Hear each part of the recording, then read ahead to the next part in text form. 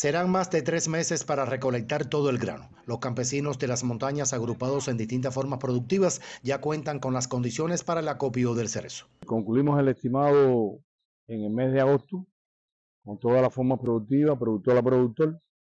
Eh, una vez eh, hecho el estimado, eh, procedimos a la revisión por parte del Departamento Técnico Productivo de la empresa y finalmente se certificó ese estimado por la estación de Jebacoa y los especialistas de la empresa.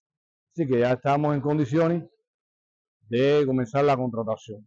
Ya desde el día de ayer creamos varias comisiones para eh, realizar la contratación eh, productor a productor. Este año hemos pensado variar las ideas generales de, cosecha. Estamos estimando que vamos a, realizar un acto de inicio de cosecha por cada forma productiva en la finca de un productor.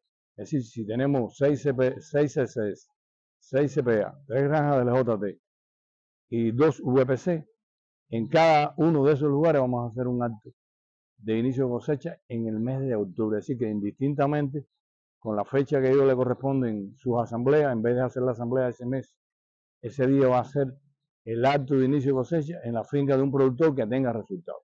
Este año la cosecha inicia de forma diferente. Previo a la arrancada se reunirán en cada sitio para oficializar la recolecta. Es una cosecha similar al año anterior, es pequeña. Tenemos que hacerla lo más eficiente posible ya tenemos todas las condiciones creadas para enfrentarla. Eh, tenemos los sacos, el transporte, eh, los carros están habilitados. Hay algunas deficiencias todavía con el tema de la goma de tractor, pero esperamos que en el transcurso de este mes y parte de, octubre podamos estar eh, resolviendo esta problemática.